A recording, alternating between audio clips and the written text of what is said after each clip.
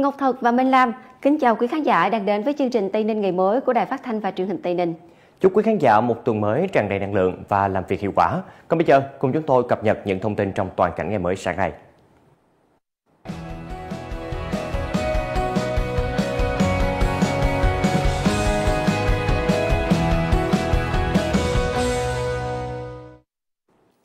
Thưa quý vị, nhằm triển khai thực hiện có hiệu quả chương trình mỗi xã một sản phẩm ô cớp trong giai đoạn 2023-2025, từ nguồn ngân sách nhà nước, tỉnh Tây Ninh sẽ chi hỗ trợ trên 41 tỷ đồng để hỗ trợ cho các chủ thể thực hiện chương trình. Theo đó, nguồn ngân sách tỉnh sẽ hỗ trợ cho các chủ thể gồm các hợp tác xã, các tổ hợp tác, các doanh nghiệp nhỏ và vừa, các trang trại và các hộ sản xuất có đăng ký kinh doanh để kiện toàn hệ thống quản lý, điều hành thực hiện chương trình ô cớp, phát triển sản phẩm ô cớp gắn với xây dựng vùng nguyên liệu nông sản, dược liệu đặc trưng được cấp mã số vùng trồng theo hướng sản xuất hữu cơ, nông nghiệp sinh thái, chuẩn hóa quy trình, tiêu chuẩn và phát triển sản phẩm ô cớp theo chuỗi giá trị, phù hợp với lợi thế về điều kiện sản xuất và yêu cầu của thị trường, tổ chức các hoạt động xúc tiến thương mại, kết nối cung cầu cho sản phẩm ô cớp thông qua các hội chợ, triển lãm, sự kiện tôn vinh, quảng bá, giới thiệu sản phẩm ô cớp đặc sắc, thúc đẩy tiêu dùng sản phẩm ô cấp gắn với thị trường du lịch trọng điểm. Đồng thời, xây dựng hoàn thiện hệ thống quản lý, giám sát sản phẩm ô cấp, xây dựng điểm giới thiệu và bán sản phẩm ô cấp, phát triển nhóm sản phẩm ô cấp gắn với dịch vụ du lịch nông thôn. Thưa quý vị, nhằm mang đến cho du khách những trải nghiệm tốt nhất khi đến tham quan và sử dụng các dịch vụ cáp treo tại khu du lịch quốc gia núi Bà Đen, Sunquar Bà Đen Mountain vừa phát hành thẻ trải nghiệm dịch vụ cáp treo không giới hạn số lần đi cáp với nhiều tính năng và mức giá ưu đãi. Thẻ trải nghiệm dịch vụ cáp treo không giới hạn số lần đi cáp được áp dụng đối với combo đi cáp tham quan đỉnh và chùa Bà, không bao gồm vé vào cổng, với hai loại thẻ dành cho người lớn và trẻ em. Theo đó, thẻ dành cho người lớn có tên Năng Bái Thỉnh An Lạc có giá 1 triệu 111 ngàn đồng một thẻ, còn thẻ dành cho trẻ em có tên Năng Kiến Hưởng An Nhiên có giá 899 ngàn đồng. Đặc biệt khi mua từ 5 thẻ trở lên, giá giảm chỉ còn 999.000 đồng trên một thẻ một người lớn và 799.000 đồng một thẻ đối với trẻ em. Thẻ này cho phép du khách đi cáp treo lên núi Bà vào bất cứ thời điểm nào theo lịch vận hành cáp tại Sun World Bà Đen Mountain và được miễn phí dịch vụ lối đi ưu tiên qua các cổng soát vé mà không phải xếp hàng chờ đợi. Mỗi thẻ trải nghiệm sẽ chỉ áp dụng cho một chủ thẻ. Để sử dụng, khách hàng cần mang theo thẻ và giấy tờ tùy thân như chứng minh nhân dân, căn cước công dân, giấy phép lái xe để đăng ký thông tin chủ thẻ vào lần đầu tiên sử dụng tại phòng vé của Sun World Bà Đen Mountain. Các lần tiếp theo, khách hàng chỉ cần xuất trình thẻ tại cổng soát vé cáp treo để được trải nghiệm. Thời gian áp dụng thẻ kéo dài đến hết ngày 31 tháng 12 năm 2023. Thời gian qua, Tây Ninh đã có nhiều chính sách hỗ trợ doanh nghiệp đầu tư cho hoạt động khoa học và công nghệ, đổi mới và nâng cao trình độ công nghệ, qua đó góp phần tạo động lực, thúc đẩy hoạt động khoa học công nghệ và đổi mới sáng tạo trong các doanh nghiệp trên địa bàn. Các chính sách hỗ trợ của tỉnh có thể kể đến như hỗ trợ nâng cao năng suất và chất lượng sản phẩm hàng hóa, hỗ trợ doanh nghiệp nhỏ và vừa khởi nghiệp sáng tạo tham gia cụm liên kết ngành chuỗi giá trị, hỗ trợ hệ sinh thái khởi nghiệp đổi mới sáng tạo, hỗ trợ đăng ký bảo hộ tài sản trí tuệ. Qua đó, tỉnh đã hỗ trợ 40 lượt tổ chức doanh nghiệp xây dựng, áp dụng các hệ thống quản lý tiên tiến, công cụ cải tiến năng suất và chất lượng, sản phẩm chứng nhận hợp quy, công bố hợp quy, chứng nhận hợp chuẩn, công bố hợp chuẩn với tổng kinh phí khoảng 1,9 tỷ đồng. Ngoài ra hỗ trợ khen thưởng nhiều lượt doanh nghiệp đạt giải thưởng chất lượng quốc gia nhằm tạo động lực, khuyến khích doanh nghiệp của tỉnh cùng tham gia và phát triển thương hiệu. Thưa quý vị, theo thông tư số 24 ngày 1 tháng 7 năm 2023 của Bộ Công an, kể từ ngày 15 tháng 8, tổ chức cá nhân nào không chấp hành quyết định xử phạt vi phạm hành chính trong lĩnh vực giao thông thì không được đăng ký xe. Điều 3 thông tư 24 năm 2023 của Bộ Công an quy định về cấp thu hồi đăng ký biển số xe cơ giới có hiệu lực từ ngày 15 tháng 8 quy định tổ chức cá nhân vi phạm trật tự an toàn giao thông mà không chấp hành quyết định xử phạt vi phạm hành chính trong lĩnh vực giao thông thì chưa giải quyết đăng ký xe. Sau khi chấp hành xong quyết định xử phạt vi phạm hành chính trong lĩnh vực giao thông thì được đăng ký xe. Ngoài ra cũng tại điều 3 thông tư 24 cũng đưa ra một số quy định về nguyên tắc đăng ký xe, việc quản lý xe theo số định danh cá nhân. Thưa quý khán giả, mới đây là nghề một câu cấp vạn điểm ở huyện Thường Tín, thành phố Hà Nội vừa được công nhận là điểm du lịch của thủ đô. Đây không chỉ là niềm vui của người dân trong làng, mà còn là cơ sở để làng nghề tiếp tục phát huy những tiềm năng, thu hút được nhiều du khách đến tham quan và trải nghiệm. Phát triển làng nghề mộc vạn điểm gắn với du lịch là một trong những nhiệm vụ quan trọng mà huyện Thường Tín, địa phương được mệnh danh là đất trăm nghề đang triển khai thực hiện. Tinh xảo trong từng chi tiết, sản phẩm đồ gỗ của làng nghề vạn điểm đã đạt đến sự hoàn thiện về thẩm mỹ và chất lượng. Tận dụng các loại gỗ từ tự nhiên như gỗ mung, gỗ gụ, gỗ mít, gỗ hương, gỗ rắc, các sản phẩm được làm ra rất phong phú và đa dạng về chủng loại, mẫu mã. Đặc thù của mộc vạn điểm có một cái là gỗ chất lượng, không bị rác, không bị dập và không bị mơ mất. Không đánh đổi môi trường, lấy kinh tế, thì các hệ thống công trình về xử lý nước thải được đầu tư cũng cần sớm đi vào hoạt động. Thưa quý vị, nước Mỹ nổi tiếng với những món ăn ngon, nền văn hóa đa dạng, độc đáo, cảnh quan đẹp lay động lòng người cùng với không khí trong lành. Tuy nhiên, không nhiều người biết đến một địa danh thú vị của xứ sở của sô-cô-la là Dubai, thành phố được xếp vào loại nhỏ nhất thế giới. Chỉ sở hữu diện tích khoảng 150 km vuông và có 11.000 cư dân sinh sống, thành phố nhỏ Dubia là một trong những thành phố lâu đời và đẹp nhất thế giới với những địa điểm đẹp như tranh vẽ. Tôi tự hào về thành phố của mình, nơi được mệnh danh là thành phố bé nhất trên trái đất. Thành phố này đã tồn tại từ thời Trung Cổ và vẫn còn vẹn nguyên giá trị cho đến ngày nay. Rất nhiều khách du lịch đến đây và thành phố cũng có nhiều điều hấp dẫn, chẳng hạn như công viên địa chất và nền ẩm thực độc đáo. Cháu rất yêu thành phố của mình vì có nhiều quán ăn, nhiều dòng sông và mọi người rất đáng mến. Dubai cũng cuốn hút du khách với vẻ yên bình nhưng cổ kính của các khu phố tồn tại qua hàng ngàn năm lịch sử. Tôi rất thích thành phố này vì nó còn lưu giữ vẹn nguyên những nét cổ kính của một thành phố cổ. Thật thú vị khi được đi dạo ở đây, đắm mình trong một không gian xanh mướt của cây cối và dường như quên hết phiền muộn lo âu. Ngoài ra, du khách đến Dubia cũng không thể bỏ qua việc đến thăm di tích khối đá vôi khổng lồ 300 triệu năm tuổi nằm trên đỉnh của thị trấn.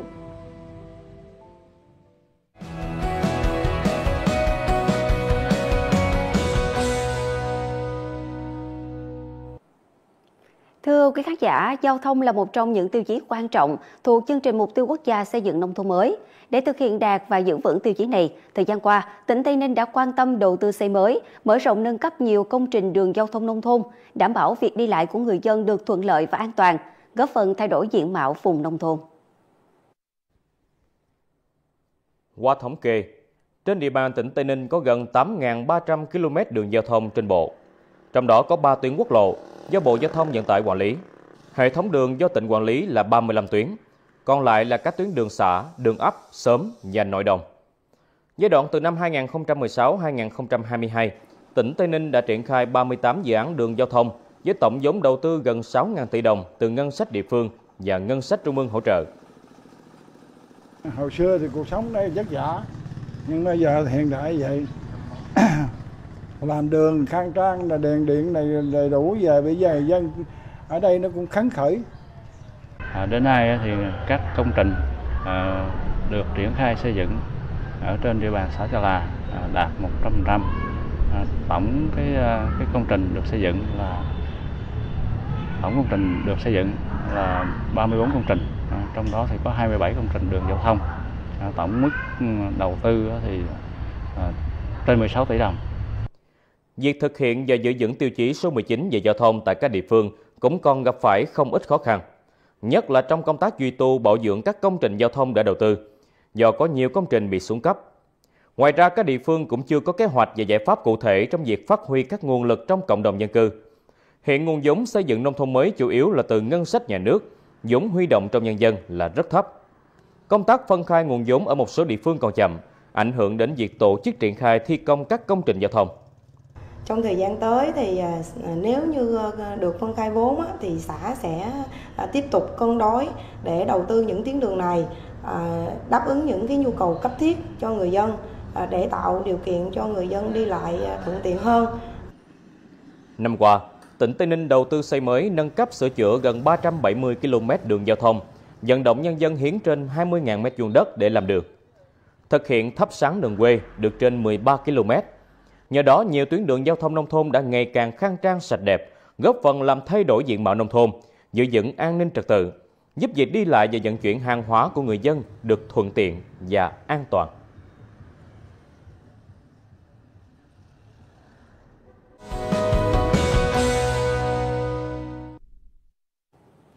Tiếp theo chương trình, xin giới thiệu đến quý vị các chuyên mục nổi bật sẽ được phát trên kênh TTV11 và các hạ tầng OTT của Đài Phát thanh Truyền hình Tây Ninh trong ngày hôm nay. Ở xã Đồng Khởi, huyện Châu Thành có một gia đình được Ủy ban dân tỉnh công nhận là gia đình văn hóa tiêu biểu cấp tỉnh năm 2022. Đó là gia đình ông Lại Văn Đây và bà Bùi Thị Bên.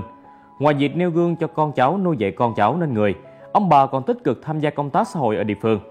Trong chương trình xây dựng gia đình trong tình hình mới phát sóng vào lúc 7 giờ 50 phút thứ hai ngày 7 tháng 8 năm 2023. Mời quý khán giả cùng theo dõi phóng sự về gia đình tiêu biểu này để thêm yêu, thêm quý những gì họ đã làm để xứng đáng với danh hiệu gia đình văn hóa tiêu biểu của tỉnh Tây Ninh. Chương trình được phát trên kênh TTV11, ứng dụng điện thoại Tây Ninh TV và các hạ tần số của Đài Phát thanh và Truyền hình Tây Ninh. Tỉnh Tây Ninh đang thực hiện chương trình mục tiêu quốc gia xây dựng nông thôn mới, trong đó xác định cơ cấu lại ngành nông nghiệp là một hợp phần của cơ cấu lại tổng thể nền kinh tế, phù hợp với chiến lược và kế hoạch xây dựng nông thôn mới của tỉnh. Thực hiện cơ cấu lại nông nghiệp vừa phải theo cơ chế thị trường, vừa phải đảm bảo các mục tiêu cơ bản về phúc lợi cho nông dân và người tiêu dùng, Chuyển mạnh từ phát triển theo chiều rộng, lấy số lượng là mục tiêu phấn đấu sang nâng cao chất lượng hiệu quả, thể hiện bằng giá trị, lợi nhuận, đồng thời chú trọng đáp ứng các yêu cầu về xã hội. Mời quý khán giả đón xem chuyên mục Tây Ninh xây dựng nông thôn mới phát sóng vào lúc 11 giờ 15 phút thứ hai ngày 7 tháng 8 năm 2023 trên kênh TTV11, ứng dụng điện thoại Tây Ninh TV và các hạ tầng số của Đài Phát thanh Truyền hình Tây Ninh. Quý khán giả thân mến, sau đây chúng ta sẽ cùng đến với những thông tin về các chương trình giải trí sẽ được phát trên TTV11 trong ngày hôm nay.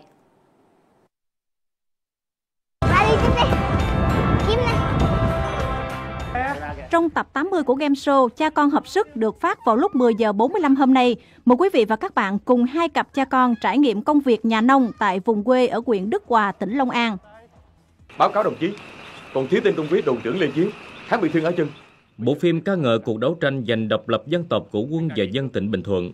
một cuộc chiến trên mặt trận tư tưởng và những trận đánh đập tan âm mưu chống phá cách mạng.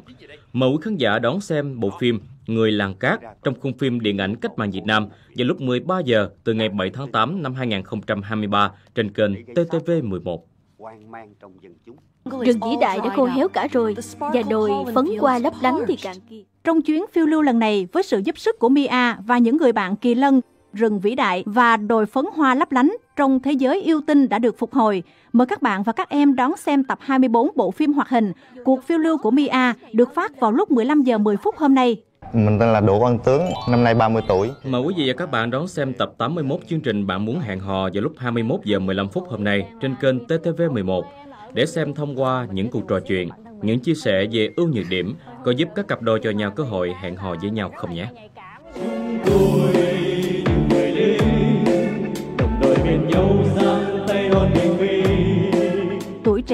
tuổi đẹp nhất trong cuộc đời mỗi con người chúng ta, tuổi trẻ dựng xây đất nước, tuổi trẻ bảo vệ quê hương, tuổi trẻ luôn song pha lên phía trước. Mời quý thính giả cùng lắng nghe chương trình ca nhạc Nụ cười anh lính trẻ được phát trên sóng FM 103.1 MHz của Đài Phát thanh và Truyền hình Tây Ninh vào lúc 7 giờ 50 phút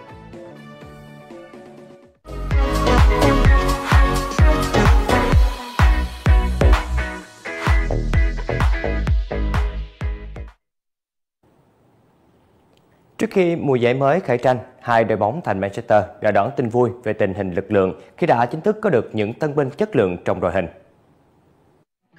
Trước trận đấu giao hữu với Lan Manchester United đã chính thức công bố tân binh Rasmus Højlund và tổ chức lễ ra mắt hoành tráng cho cầu thủ người Đan Mạch trên sân Old Trafford. Anh trở thành tân binh thứ ba cập bến sân Old Trafford bên cạnh Mason Mount và Andre Onana, đồng thời được kỳ vọng mang đến sức sống mới cho hàng công MU trong bối cảnh thiếu hụt tiền đạo cấm đẳng cấp. Holland được đánh giá nhanh nhẹn và thông minh, mạnh ở khả năng cầm bóng trong lúc chuyển đổi trạng thái. Tài năng trẻ cũng sở hữu bản năng sát thủ trong vùng cấm. Holland ký hợp đồng có thời hạn 5 năm kèm tùy chọn gia hạn 1 năm với MU. Theo truyền thông Quy Đỏ phải chi số tiền 72 triệu bảng, bao gồm 64 triệu bảng trả trước và 8 triệu bảng phụ phí để thuyết phục Atalanta nhả cầu thủ 20 tuổi. Tuy nhiên, Manchester United nhiều khả năng sẽ không thể có sự phục vụ của Hoyland khi đối đầu với OneWorld vào rạng sáng ngày 15 tháng 8 trong khuôn khổ lượt trận khai mạc Premier League 2023-2024. Đó là do Holland dính vết thương nhẹ trong giai đoạn đầu tiền mùa giải và cần phải mất vài tuần mới đạt được thể lực hoàn hảo để ra sân. Còn nhà đương kim vô địch giải Ngoại hạng Anh Man City cũng đã công bố bản hợp đồng đắt giá với Joko Guardian, trung vệ người Croatia gia nhập đội chủ sân Etihad với mức phí 78 triệu bảng. Sau mùa giải An 3, Man City trải qua một mùa hè nhiều biến động. Đội trưởng Gundogan, cầu thủ chạy cánh Mahrez đã rời đi, trong khi Bernardo Silva và Kele Walker cũng đang có ý định tìm bến đỗ mới. Theo chiều ngược lại, Man City vừa chính thức công bố bản hợp đồng trị giá 78 triệu bảng Josko Vadio. Trung vệ người Croatia sau khi hoàn tất buổi kiểm tra y tế đã ký hợp đồng có thời hạn đến tháng 6 năm 2028. Tại sân Etihad, Vadio mặc áo số 24. Trước đó, Man City và đội bóng Đức Leipzig đã chốt về mức phí chuyển nhượng. Tuy nhiên, hai bên gặp trục trặc về vấn đề thanh toán cũng như các vấn đề khác. Thế nên đến hiện tại, thương vụ mới chính thức hoàn thành. Vadio trở thành hậu vệ đắt giá nhất lịch sử với 78 triệu bảng Giống như Kovacic, Vadio bắt đầu sự nghiệp của mình tại Dinamo Zagreb. Vadio có 87 lần ra sân cho Leipzig trong hai mùa giải, ghi 5 bàn thắng và giành hai cúp quốc gia Đức. Anh có 21 lần khoác áo Croatia, xuất sắc giúp đội tuyển này giành vị trí thứ ba tại vòng chung kết World Cup 2022.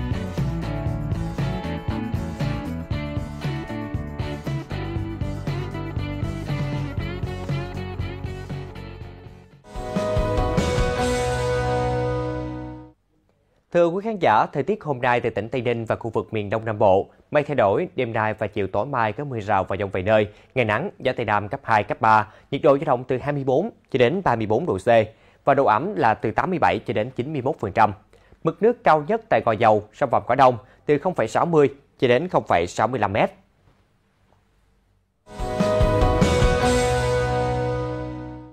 Thưa quý khán giả, sau những ngày có mưa liên tục thì thời tiết trong hai ngày gần đây đã bắt đầu có nắng trở lại và khi vận động lao động nặng nhọc trong thời gian dài dưới trời nắng nóng, cơ thể sẽ bị mất muối, nước. Quý khán giả có thể gặp các triệu chứng như là tiết mồ hôi rất nhiều, có cảm giác ớn lạnh, da lạnh và ẩm ướt, mạch nhanh, đau đầu, chóng mặt, buồn nôn, chuột rút, mệt mỏi và ngất xỉu. Khi có những dấu hiệu này, chúng ta phải dừng ngay các hoạt động, chọn chỗ thoáng mát nghỉ ngơi, uống nước, bù nước bằng dung dịch điện giải. Hãy nằm xuống, nới lỏng quần áo, phủ lên người bằng khăn hoặc là quần áo ẩm để làm mát và tìm sự trợ giúp của y tế và mọi người xung quanh. Để phòng ngừa các bệnh lý do thời tiết nắng nóng, quý vị nên mặc quần áo dài tay, thoáng mát, đội nón rộng vành, hạn chế ở ngoài trời trong thời gian từ 10 cho đến 16 giờ hàng ngày. Qua những thông tin lưu ý vừa rồi, hy vọng quý vị sẽ biết cách bảo vệ sức khỏe của mình và những người thân trong gia đình luôn mạnh khỏe. Và thưa quý vị, thông tin vừa rồi cũng đã khép lại chương trình Tây Ninh ngày mới của TTV11 hôm nay. Cảm ơn quý vị đã quan tâm theo dõi. Xin kính chào tạm biệt.